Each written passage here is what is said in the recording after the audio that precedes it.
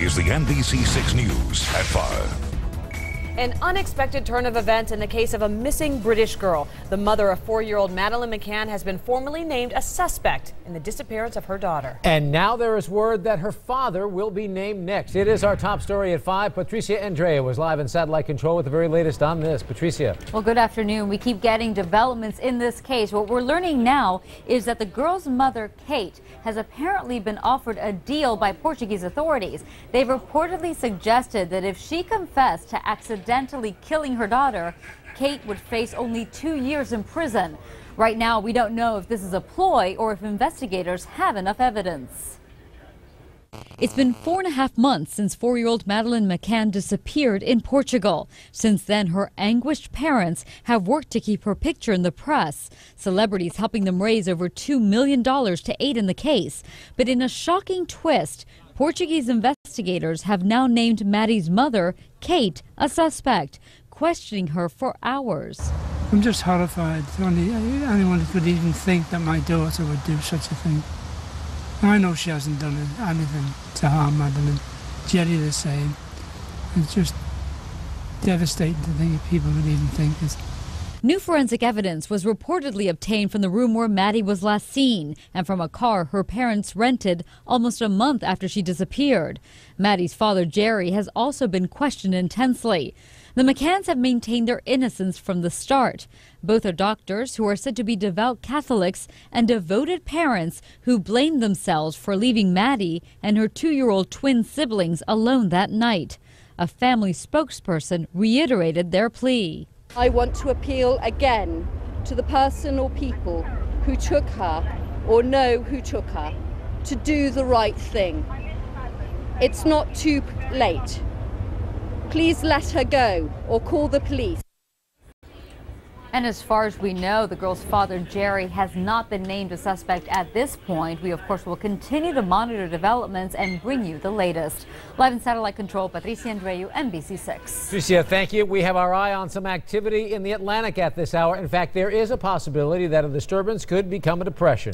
Chief Meteorologist Paul Deanno is here now with a first look at the tropics at 5. Paul? Well, Julie and Tony, when we have something that could possibly become tropical, we sit there in the weather office about 440, have all the graphics ready, and we wait. We we wait for the advisory to be issued because we'll get one just before 5 o'clock. Well, we waited from 440 until 5 o'clock, and the advisory has not come in. They always are at least two or three minutes early. So, folks, this area of low pressure in the Atlantic has yet and has not become tropical. Upper level winds have relaxed, and that has done a couple things to the system. We'll zoom on in tighter and show you what's happening. The most major change is that we have thunderstorms on the western side, and we have thunderstorms on the eastern side of the system. So you have thunderstorms on both sides of the storm, which mean the area is becoming better organized. Yesterday it looked horrible. Today, much better organized, and also getting closer to the Carolina coastline. Thunderstorms only about 150 miles offshore. Despite all of that, the hurricane hunters are out there right now, and simply they are not finding winds that are strong enough yet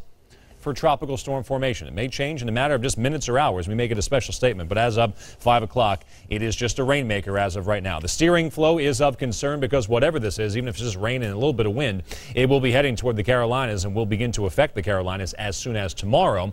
And as for our impact here in South Florida, the east winds wrapping around this low are making it all the way down here, which means a high risk of rip currents today and into tomorrow. With some sunshine for tomorrow, that will be a risk of rip currents for a lot of beachgoers who will enjoy a Saturday out on the water. I will have your six-day forecast coming up in a few minutes with more on this, and if it becomes tropical, we will let you know immediately right here on NBC6.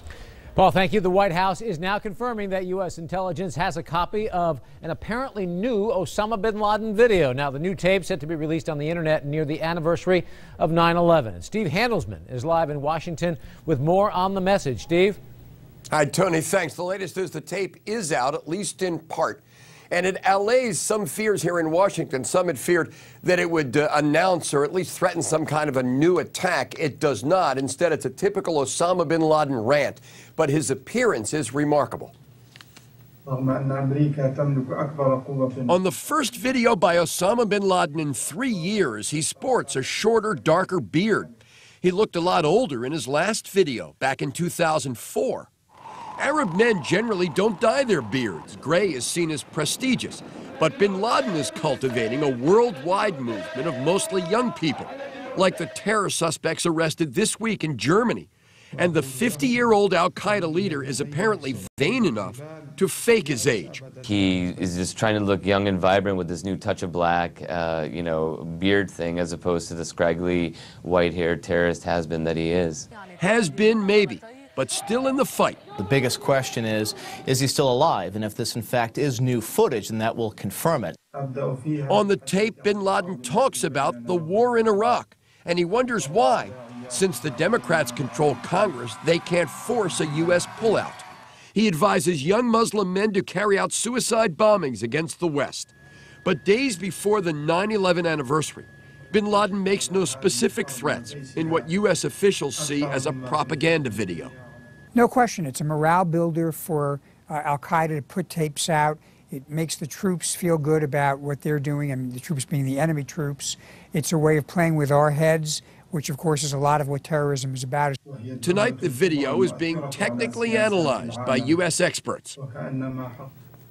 Job one is to look for clues that might point to the whereabouts of Osama bin Laden so that his next video might be shot by American soldiers. Live from Washington, I'm Steve Handelsman, NBC 6. New details about the fate of Manuel Noriega. His attorneys in Miami say they'll ask a federal appeals court to halt his extradition to France now that a judge has ruled against him for a second time. A federal judge rejected the former Panamanian dictator's argument he should not be extradited because of questions about whether France will honor his status as a prisoner of war.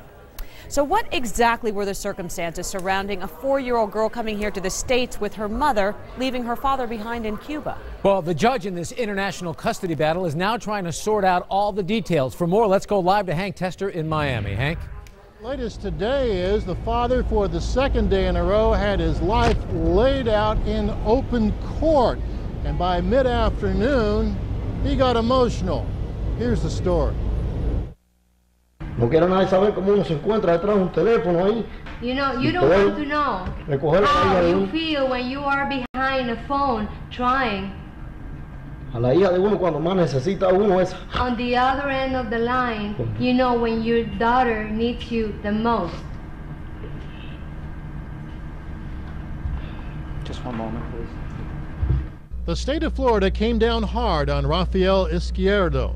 The state wants Izquierdo's four year old daughter to stay and be adopted by a Coral Gables couple. The state says Rafael is unfit to take the little girl back to Cuba. Did you understand Usted entendió that this document que este documento gave consent daba el consentimiento for Elena para que Elena to take Elizabeth to the United States pudiera llevar a Elizabeth a los Estados Unidos with your permission? con el permiso de usted. Sí. Yes. Though his love life is complex, Izquierdo insisted that he was a caring father, paid for care for the little girl, provided food, even though he gave up the little girl so she could come to the U.S. with her mother.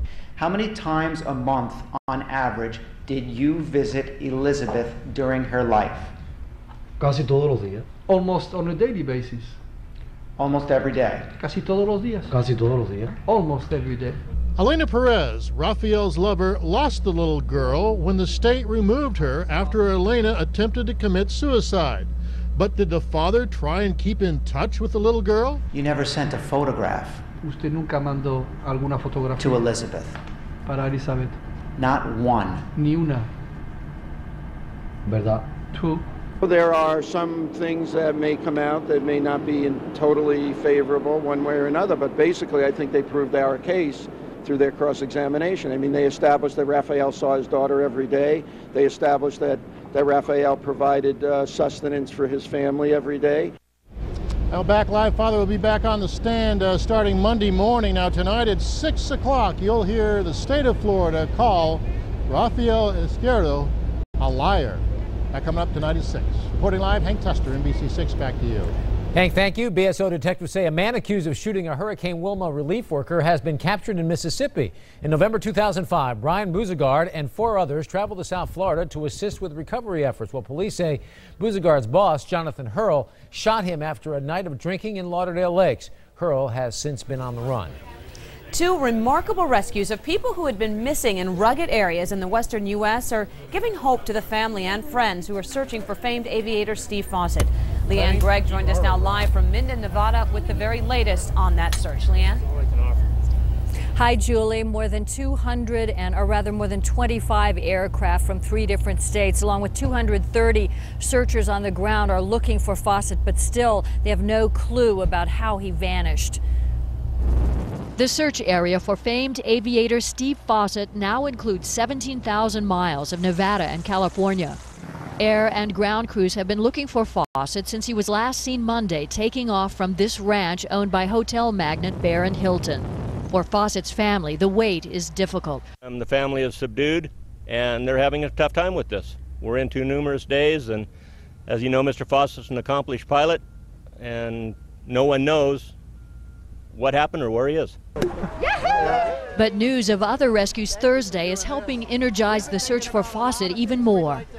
A Colorado couple missing since Monday north of the Rocky Mountain National Park celebrated after a rescue plane found them. They'd taken a wrong turn on a trail. And there's nothing there to tell you to cross the river. We never And saw a sign. And in what's described as nothing short of a miracle, 76 year old Doris Anderson, who had been missing for two weeks in the eastern Oregon mountains, was found Thursday, a week after the search had been called off.